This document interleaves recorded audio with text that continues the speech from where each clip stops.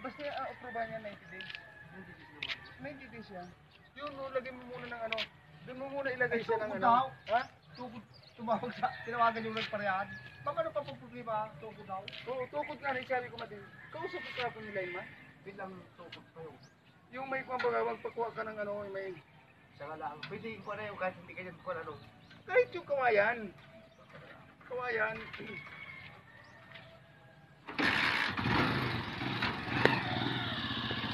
Hmm.